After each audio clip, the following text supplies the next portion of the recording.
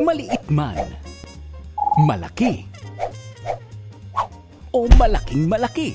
Kaya yan ng BM Express. Book a pickup now to learn how you can send appliances, furniture, and other large items to the Philippines.